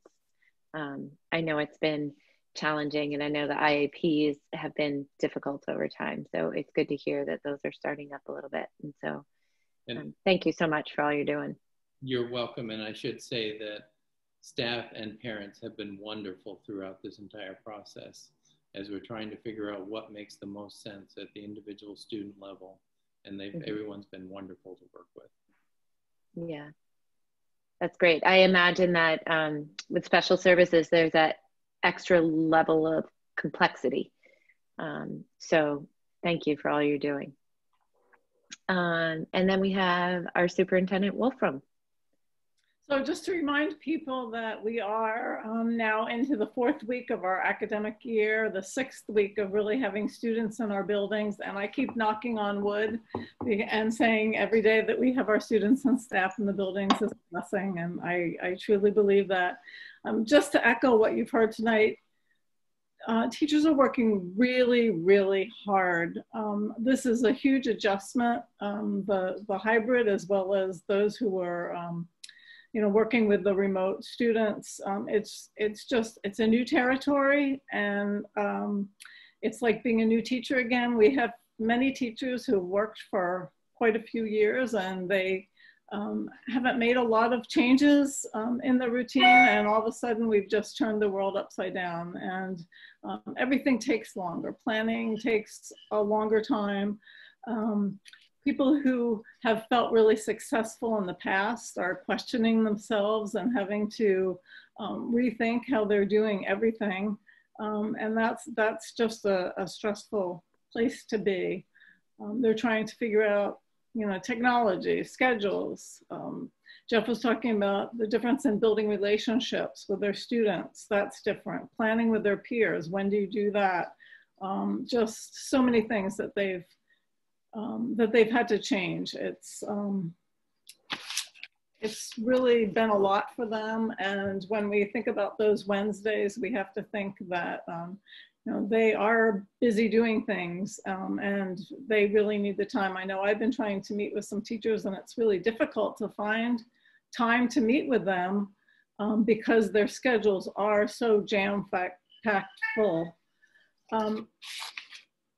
Administrators agreed before um, school started when we were working in the summer that we would um, give give it till the end of October and then really reevaluate um, everything that we're doing. We've decided that we are. My sorry, my cat is meowing. Um, um, we are going to um, put a survey out to parents and to uh, staff about the third week in October, and then the administration will review um, review um, the data that we get back and um, consider next steps. But we do have some um, constraints that we have to work within, and as far as I know, the constraints are um, are still there. Um, you'll remember that we are under the um, CDC orders for the three feet social distancing in our classrooms and six feet for eating. And that, that hasn't changed. Um, most of our classrooms are pretty small and uh, with the three foot requirements for social distancing, it really does limit the number of students that we can have in our rooms. So I know that we would all like to have all of our students back five days a week, but we are still under um, those uh, CDC orders. So we have to keep that in mind. Um, uh, also, our, our buildings are old, and now that we're, it's getting cold out and we're having to close some of our doors and windows, um, the ventilation was uh, adequate for older buildings and for when we could open our windows and doors. I know being in, in the schools, you walk down and there were breezes blowing the uh, papers on the bulletin board. Um, and as the as the fresh air came in and the, all the windows were open, but um, it is it will be getting colder and it is getting colder. And um, thinking about our occupancy data, and if we want to bring more students into our classrooms, we're really we're really limited with the numbers of people that we can have in our classrooms during this COVID time. We did just receive another federal grant um, for uh, one million ninety eight thousand two hundred ninety eight dollars and sixty eight cents. So that's our second um, large grant, and we're making plans to spend a large chunk of that on uh, improving the ventilation in our buildings. And we did just get um, some uh, plans from uh, Colby and Company about of what we can do for that, and it will take uh, over half of that federal grant, but if we want to get people back in our buildings, if we want to get more students and, and our, all of our staff back in our buildings, we are just going to have to uh, spend the money. Another constraint we're working under is the fact that this grant needs to be spent by December 31st. So um, we will be, uh, Perry will be contacting um, some builders, uh, some, some uh, mechanical services people um, to start that work. And we're probably going to have to do the work while, students are in the buildings. So uh, because December 31st is coming. So we'll, uh, we'll have to figure out how we're going to do that, but we need to, um, we need to, to get that work, work going um, with that uh, time frame. And that is, that's coming from the feds, not from the state. Um, uh, so we do have to spend that by December 31st. Um, you'll remember that we've had to close some of our classrooms that don't have adequate, adequate ventilation. Some of the smaller classrooms um, where um, smaller groups of students were meeting with um, special services um, support staff. So we've had to move those uh, students and teachers into some of our larger classrooms. So we really do, while we have a lot of students um, learning remote, uh, in the remote program, our classrooms are, are mostly all being used, so we don't have a lot of extra space there.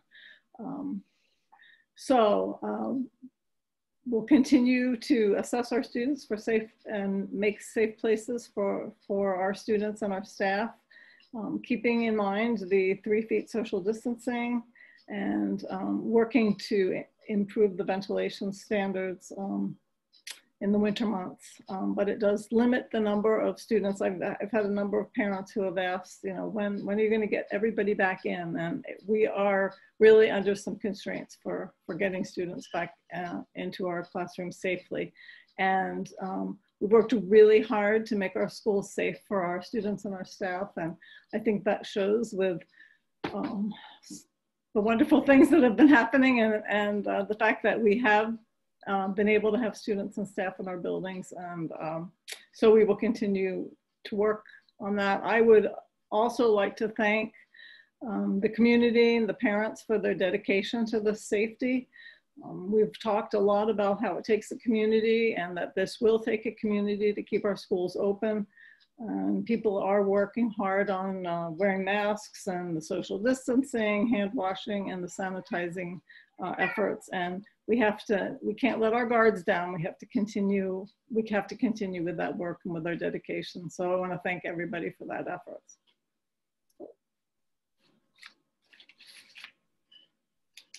Elizabeth. Donna, I wanted to ask you really quickly about the new DOE guidelines that were released. I happened to see them published by the Cape Elizabeth School Department where there was a chart um, about you, know if you have these symptoms don't go to school. And it was like four steps. And something new was the bottom one that says if you leave the state call your school.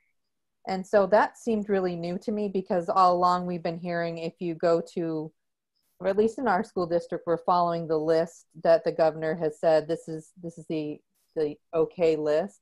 So are you asking parents yeah. to now if we go to New Hampshire to come home and then call the school and say we've been to New Hampshire? We're following those um, those guidelines and honoring the safe states. So okay, I think so we don't have to call. No, I think it was more if you have if some people have questions and they're not just sure about the CDC guidelines. So um, okay, that's good to know because I think you'd have a lot of phone calls. Yeah, yeah, yeah and now that Massachusetts is a safe state, that's that opens that up. That's that's made um, that's made a difference for people as well who have relatives in Massachusetts. So that's been a good thing.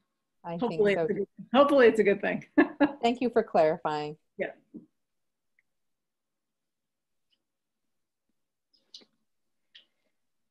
Thank you, Donna.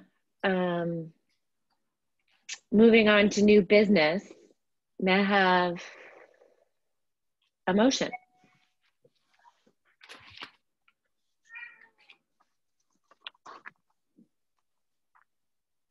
I know you want to do it, Laura. Do you have a motion? No, I was giving somebody else the opportunity. That's what I was doing there. So I move we consider uh, the following nomination for fall coaches. Amy, uh, I don't want to butcher this last name, Amy DeVries, and it's 50-50 with A.G. Gillis. May I have a second? I second. Thank you, Hope. Are there any questions or comments?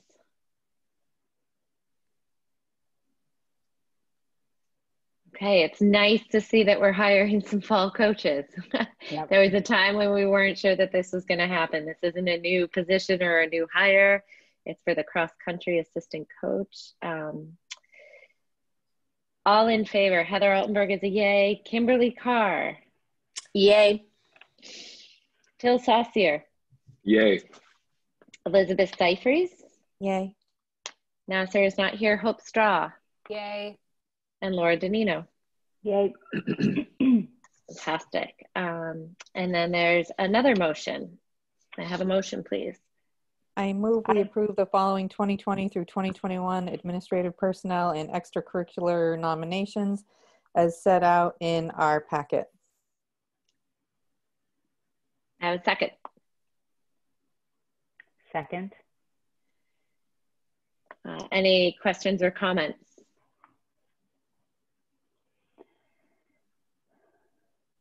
Great. Um, I'm always impressed by this list. Um, we've heard of the teachers being so uh, overwhelmed with this new way and of teaching with hybrid and remote learning, and to step in and being willing to support these extracurriculars, which, as the student reps mentioned, create a little bit of normalcy in this very difficult time. Um, tremendous gratitude to all of these uh, teachers willing to step in. Uh, Heather Altenberg is a yay. Kimberly Carr. Yay. Phil Saucier. Yay. Elizabeth Scifres. Yay. Nasser's not here. Hope Straw. Yay. And Laura Danino. Yay. Great. Um, next up is a notification of retirement. Jeff Shedd, our principal of the Cape Elizabeth High School, has announced his retirement. We'll be here throughout the year, um, but then we'll enjoy a little bit of space and free time. So, Jeff, can I just, I know we're not here to honor you right now, but can I just ask how many years is this for you? Is it 18? This, this is my 20th year, Heather. 20th. Yep. Wow. I hope we get to be in person and definitely celebrate you. Um, congratulations on retirement. I, um, yeah, you will. You have big shoes to fill. It will be a challenge for us to find somebody that can fill your space. So, um, okay. Consideration to approve. Is this a motion? May I have a motion, please? I move we approve Megan O'Neill for the Pond Cove Elementary School counselor position. I have a second? Second. Uh, any questions or comments? I have to say I'm thrilled that we were able to fill this position. That we, um, I know that back during the budget season, it um, it was something I believed in strongly when it got brought up um, in the conversations, and um, I know finances were wondering what positions do we actually fill this year, and so I was thrilled to find out that this was a position that could be filled. Um, does anybody else have any questions or comments? Okay, Heather Altenberg is a yay. Kimberly Carr. Yay. Phil Saucier, Yay. Elizabeth Scifres, Yay. Hope Straw, Yay. and Laura Danino. Yay. Okay, uh, so item E, may I have a motion, please? I move we approve the 2020-2021 school, bo- school, school board goals. Number one, support the strategic plan goals. Number two, complete the building committee process and make a decision on how to provide safe and effective schools. And the third, support the work of the diversity, equity, and inclusion task force. Thank you. May I have a second? Second. Second. Um, I haven't done it, Elizabeth. I know. I'm just trying to help keep things moving. all good. Um, first of all, I just want to I just want to explain very quickly that at the beginning of the meeting, uh, I mentioned quickly the five strategic planning goals, and um, just to clarify that those are goals that were created from a wide variety of uh, constituents, um, members of the community through an extended future search process. Um, they're goals that we hope to have throughout the year uh, excuse me, for five years. And uh, these school board goals are um, a little bit more specific. They're geared towards this specific year. Um, we ha- uh, um, we we in our school board retreat decide on what sort of rises to the surface and um, is our priority. Some goals stay and continue year after year after year because they never get complete. Other goals we can feel like that's that can be taken off and other goals might have to stay for a few years and so these are along with the strategic planning goals are sort of what guide i think a lot of our decision making and how we move forward um, in the work that we do um, i want to know if there's any uh, questions or concerns regarding um, the super the, not the super the school board goals here for 2020 and 2021.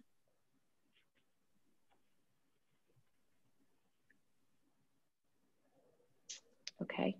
I would actually like to bring up a discussion around the support and work of the Diversity, Equity, and Inclusion Task Force um, in the sense um, to be sure that as a board, um, we are comfortable and on the same page, and we have this opportunity in our business meeting to communicate with the uh, public a little bit about this. Um, we did vote on this uh, diversity, equity, DEI task force uh, back in our September board meeting. Um, and I think the creation of this diversity, equity, and inclusion task force sort of um, bubbled up from uh, from desire that was from the public and the teachers. There was an extensive letter with many teachers' signatures written to the school board um, calling for action, calling for um, approaching anti racism and the movement that is happening right now. Um, over the summer, uh, Kathy alluded to this, there was work being done. There were book clubs and professional development. And there was obvious interest from various um, from various um, teachers within the community. And so um, our moving into um, this task force became something um, to, to show support, in my opinion, um, as the school board, to show support that, that we find this valuable work um, that was already starting to, to begin and to allow and, and welcome the ability to have it be somewhat fluid. As Kathy said, the idea is to open to bringing in students um, and, uh, and, and take it from there. I want to make sure, I, I think there may be some confusion of this task force um, because we voted um, being under the school board purview or whether it's from um, you know whether it's a school side of things where the administrators and and the staff are really working it. And it's more like um, an advisory group that board members participate in and and pull in the information for the public to communicate in these bigger board meetings Um, my understanding was that, um, and it's obviously important to all of us as a board because we decided to make it one of our goals. Um, I saw this um, this uh, I have it right here. I'd like to read what we voted on. We voted on consideration to create a Cape Elizabeth School District Task Force to address DEI within the district to be comprised of several board members, administrators, teachers, and students because there's a lot of energy behind the DEI movement. And in an effort to keep this going, a committee is formed to keep the conversations going. Um, my understanding was that um, there is a call to uh, to approach curriculum. There is a call to approach the culture within the school to make it more inclusive, um, and that a lot of that work needs to be done through the professional development work that Kathy has referred to, through the teachers, um, really having some very challenging conversations. Um, and I heard that Thursday in the meeting of really facing some of their own shadow sides and being willing to admit, like, maybe I haven't been doing this as well as I could, and the humility that that comes with that. Um, I thought it was a very powerful and potent meeting on Thursday to hear the passion of these teachers really genuinely wanting to make change. They correct me or speak up if you heard this differently. I think one of the greatest fears that I heard from everybody there was the fear that it would get lost, the fear that there was initial energy to move forward, but that they really want to make strides and have teeth in this and to move forward. Um, and so the most passionate people thus far who have expressed themselves were who have been involved had initially been invited to the table and um, that can be fluid and moving but it's it's going to be hard work it perhaps may be slow work the other thing the other fear that teachers had was that they don't have the bandwidth to add more to their plate right now um, and so I want to publicly say that I, I, I hear that and I honor that. And maybe the progress is slow, um, but I believe there will be progress because of what I heard from these teachers speaking. Um, I think it is very worthy of us as a board right now um, to be sure that we are on the same page and to be clear about this task force and how we want to move forward. I saw the vote again as support um, for the work that was sort of started and then morphed into this DEI task force. Um, but I'm not sure that is the will of the entire board. Um, and so I want to confirm that we are on the same page with that. I am open to hearing other board members if you want to raise your hand and comment. And this would be a really great place to have this conversation in public. And Kimberly, I can't see if you physically raise your hand, so you could just speak up if you need to. Kimberly. Thank you. It took me a moment. I'm on my phone tonight and I couldn't quite find um, my hand. That's okay. Um, yeah, I that was um, my understanding. I think um, I'm excited to hear about the energy um, behind this or in this group, the um, the task force that's getting started on this. Um, I think it's it's something that we had talked about and we're interested in moving forward with um, over the summer. Um, but felt like the complexity um, and importance of getting our students back in school um, was was just monumental. And um, so um, I, am pleased that we got this on the September agenda and that it is starting to take form and moving forward. Um, and I um, I, I think I, I, support the vision that you described. That that was what I had um, thought we would would be doing, and uh, and I, I support Kathy um, as the chair for this. I, I think uh, it's it's hard hard work, a hard task, um, and um, and one that I, I think is so critically important.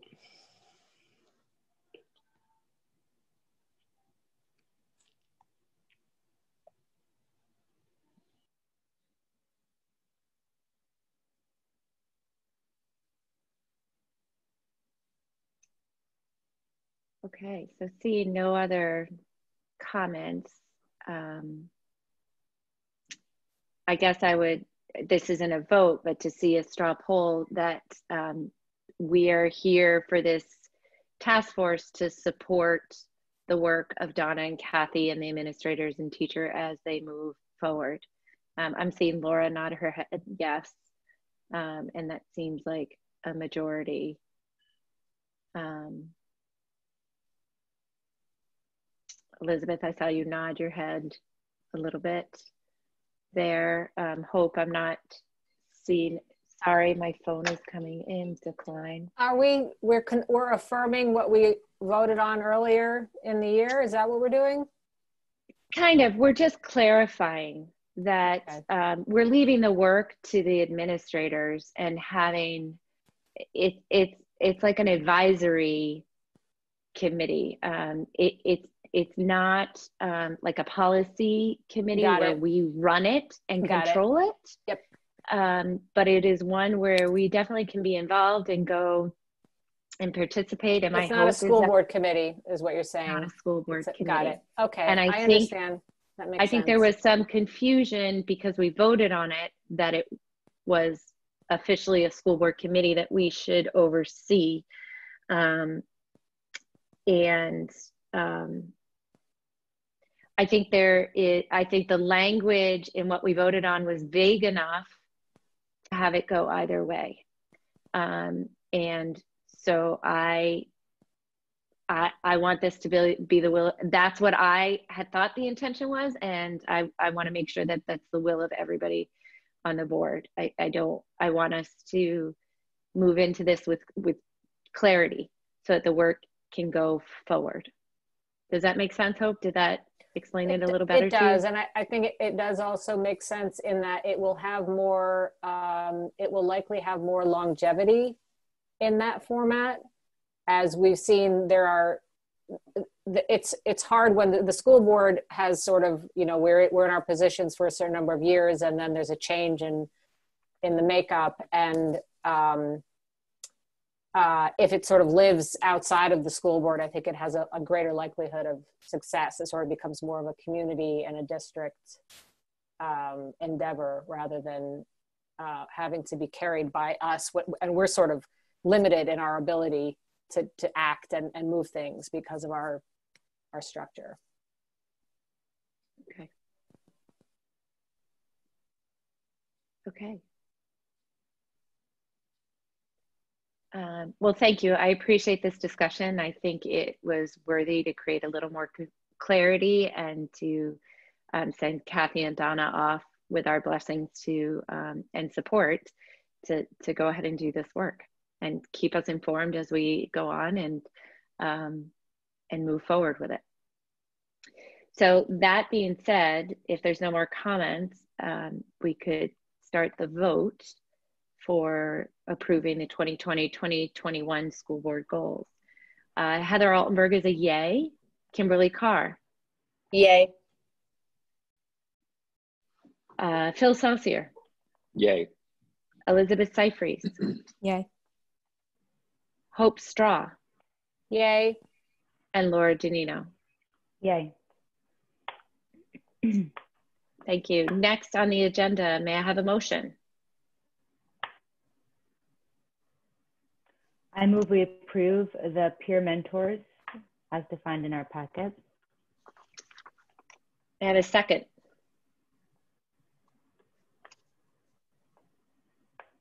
I second. Kimberly. Thanks, Kimberly. Uh, any questions or comments? Again, important roles. Thank you, Bree, Amanda, and Fran for stepping up and taking on more responsibility. Uh, Heather Altenberg is a yay. Kimberly Carr, Yay. Phil Saucier, Yay. Elizabeth Scifres, Yay. Hope Straw, Yay. and Laura Danino. Yay. All right, Phil, I think this is going to be you.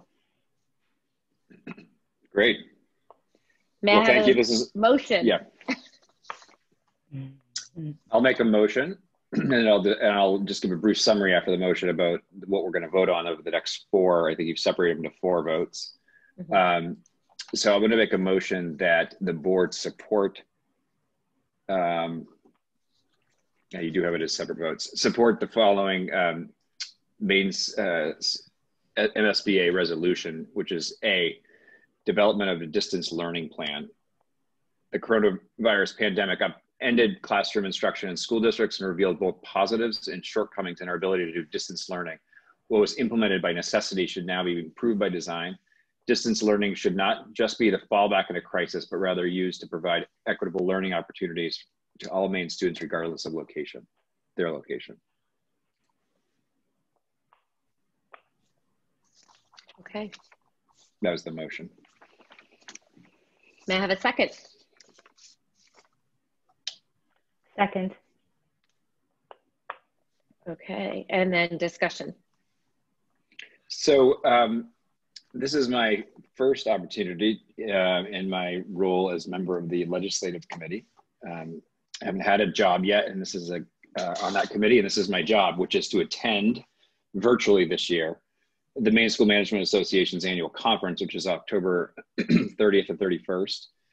And one of the one of the things that happens at that, and I've learned this, this will be my first time attending, is that there is a delegate assembly made up of representatives of school board members, school boards throughout the state.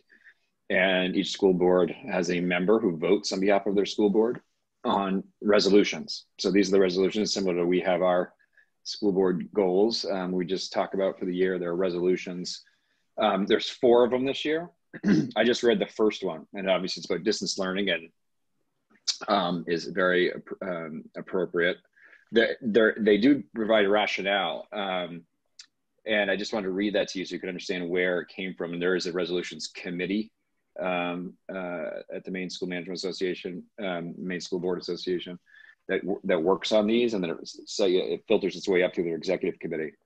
Um, the rationale here, obviously, is our is our experience with distance learning when schools are required to shut down because of COVID, and what we will learn as we reopen schools under hybrid models could help us make better use of technology to support instruction and broaden curriculum options for all students. Distance learning can supplement in-person instruction and also support subject areas where there's a teacher shortage. That coupled with increased broadband access is key to educational equity for Maine students.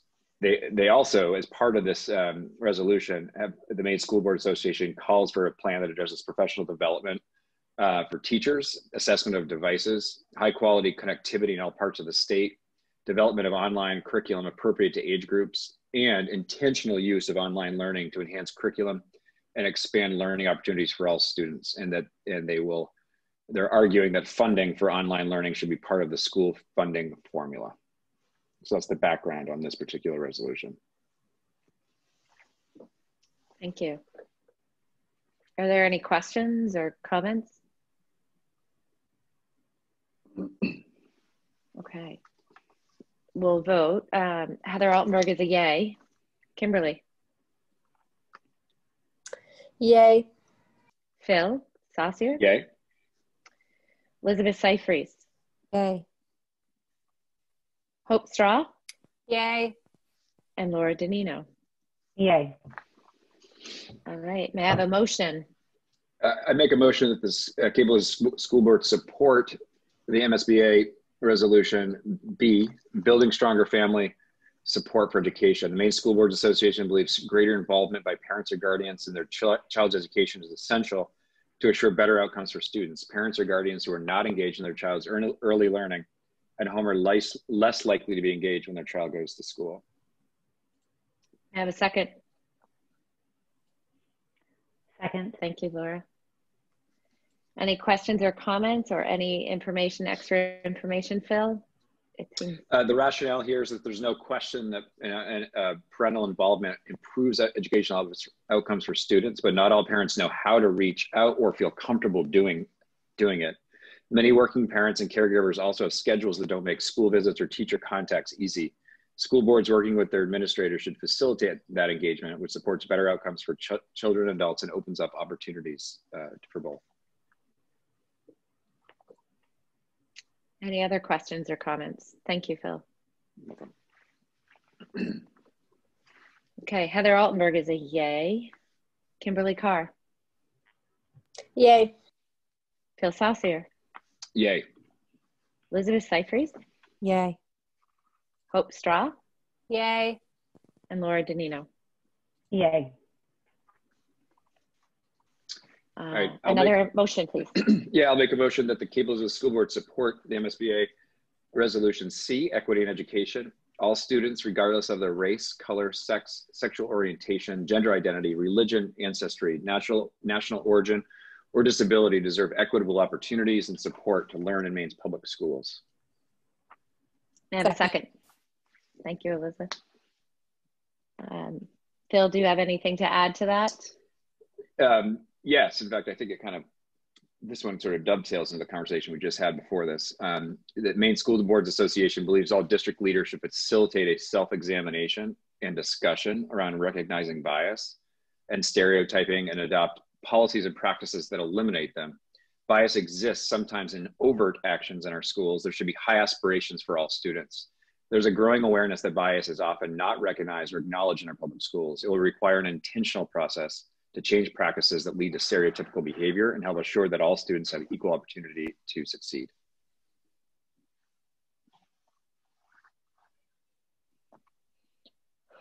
Important stuff for sure. Are there any other questions or comments?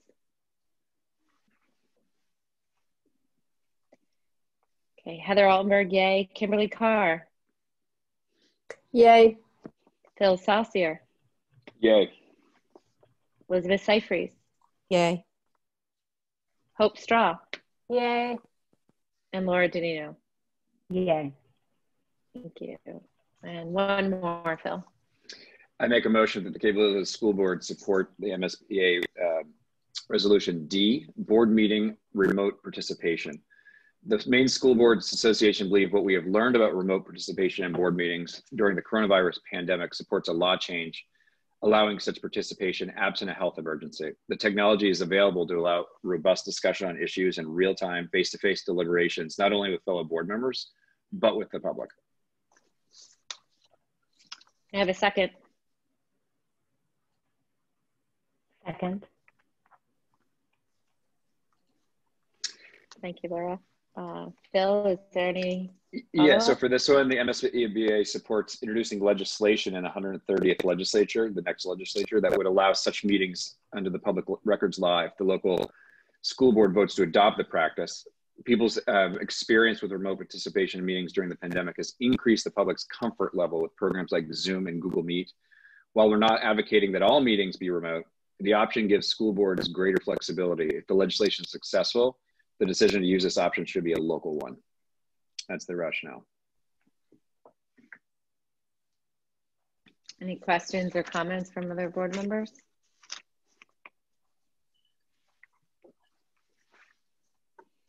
Um, okay, Heather Altenberg, yay. Kimberly Carr. Yay. Phil Saucier. Yay.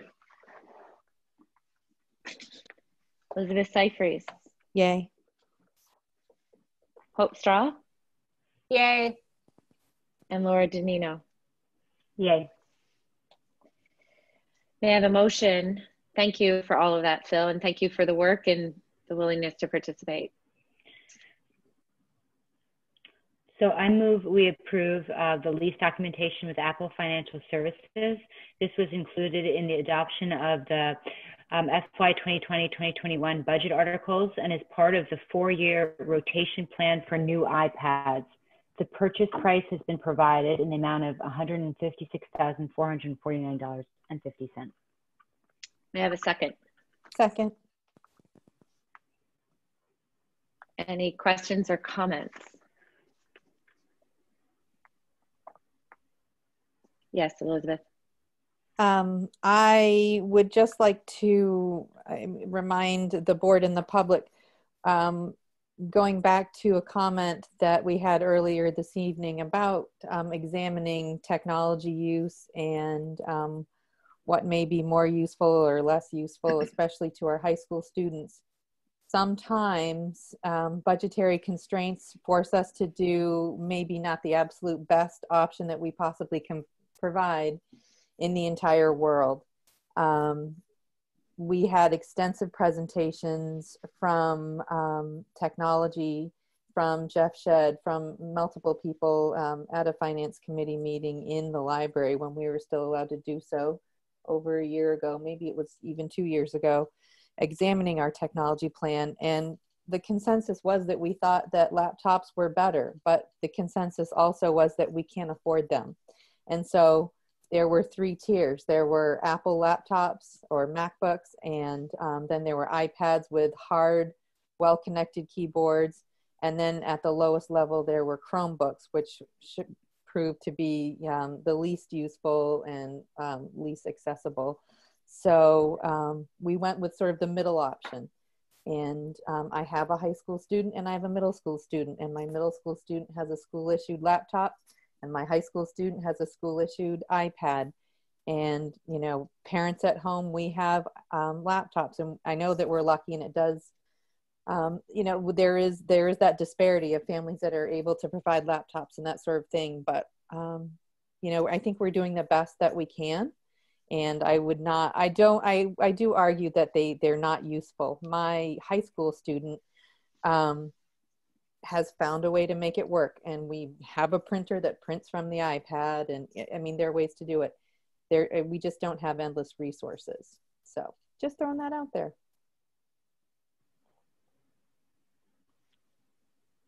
Thank you for that elizabeth for the reminder that we did have extensive discussions about it um, and that it was thought out and i appreciate your words and comments. Anything else All right. Heather Altenberg is yay. Kimberly Carr. Yay. Phil Saucier. Yay. Elizabeth Scifres. Yay. Hope Straw. Yay. Laura Danino. Yay. Uh, heading into first readings of policies. Hope. Uh, yes, so we have, uh, these are all first reads.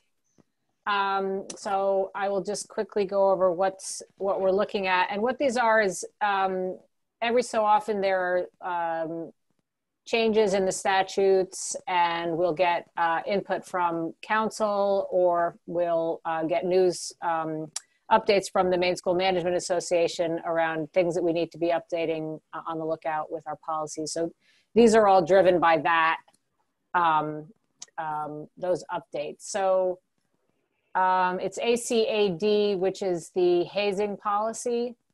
Um, and there's some, this one's kind of more of a cleanup in that it uh, more closely tracks the statute and the statutory definitions of what hazing is. Um, whereas our existing policy sort of had a, it loosely discussed what the law talks about, but then also went on to talk about um, injurious hazing may also include etc. Whereas the, the new version is very tight in terms of Maine statute defines injurious hazing as. Um, and then it also takes out um, definitions that we had in our policy, which are not necessarily um, uh, uh, exhaustive def definitions, and and they're they're likely a little bit more misleading than than helpful. Um, so the the definition of harassing behavior and active intimidation are not part of the, the new version of the policy. Um, so at any rate, the, the overall change there is kind of to tighten it up and bring it in line with the, the statutory um, uh, definitions. The others are, um, we have IJNDB, which is the student computer and internet use policy, and the, the dash R, which is the, um, the procedures. And that one also, um, it's sort of in, uh, it's more more of an issue now because we have so much uh, usage of the school um, equipment, and uh, this one also is a is a, a cleanup a bit where it takes out. Our existing policy has a has the concept of privately owned computers, where we talk about family owned computers or or um, uh, uh, equipment that the students might be using outside of school uh, equipment, and that's been taken out. Um, we also clean up, um, you know, references to iPods and iPads, which isn't technically correct, and cleaned it up to say tablet. Um, and then also there's other pieces in the computer and internet use policy that aren't necessarily things that can be enforced or tracked. Uh, so as a practical matter, um, we have students who who may need to be downloading software, for example, and our existing policy had a prohibition on that without the express consent of the technology department, which is just a sort of a, um, uh, a uh, not logistically feasible um, and, and, inaccurate. Um, so that's that's student computer and internet use and then the last one is JICK and the the dash R which is bullying and cyberbullying um, and this one, um, so the bullying policy uh, takes um, takes a fair amount of um, detail around reporting, um, the process for reporting, the school's response and remediation obligations, and pulls it into the policy itself. So it's now a little bit more. Uh, it's an informative policy. It's not typical that those items would be in the policy itself, but I think that that's done uh, intentionally um, to make it more uh, accessible to a, a, student or, or individual who's looking for that information if they're going to the bullying or cyberbullying policy. Um, and again, those are all, this is all first reading, so we'll meet again um, at the end of this month on Tuesday, last Tuesday of the month. And uh, any comments or questions, please let me know now or, or send them our way. Right. Um, I have a question. I feel like um, Hope. I I feel like the JICK was re- recently looked at. Am I misunderstanding that? Well, do you know when the last time we reviewed yeah, that I, was? That one has been that's been part of our our discussions a lot because it's referenced in ACAA. So um, okay. Um, Okay, that's why. The two are intertwined. So ACAA can also bring you to the to the cyberbullying piece. Okay. Uh, and then right. we, we also looked at um, ACAD hazing like yesterday. so, all of these, this is this is like Groundhog Day. they just keep coming back. They keep coming right. back. We haven't lost anything substantive or material. They're they're being refined. They're they're sort of yeah. I, I I think they're they're improving. So it's some incremental improvements is what I would call it. Okay, fantastic. Thank you for sharing all that. Um, school board agenda requests. Are there any agenda requests?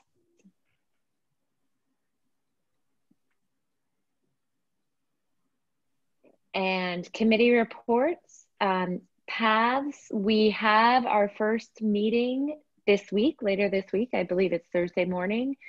Um, it will be virtual. So um, next month I'll have a report for that. But as of now, there is nothing to report. Um, policy, Hope, do you have any more to add or is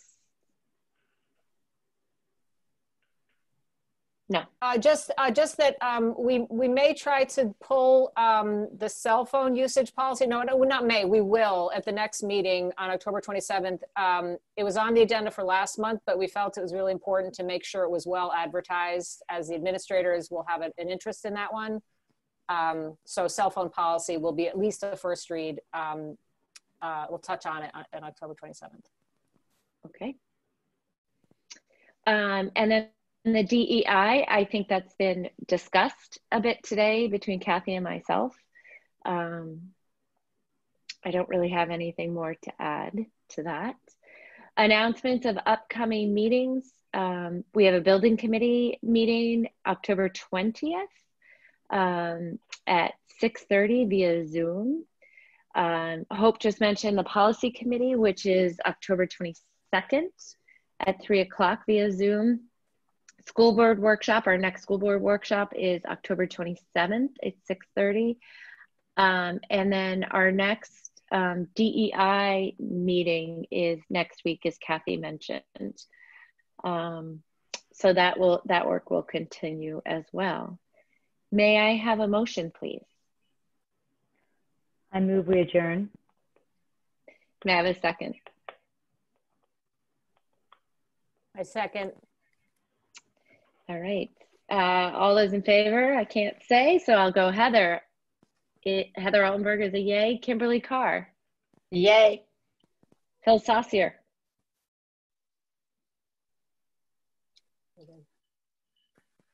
Phil Saucier? That's okay. Sorry, I was on mute. Uh, yay. Uh, Elizabeth Scifres. Yay. Hope Straw. Yay. Laura Danino. Yay. Thank you, everyone. I hope you have a great night. Thank you so much. Thank Bye. you. Thanks. Bye.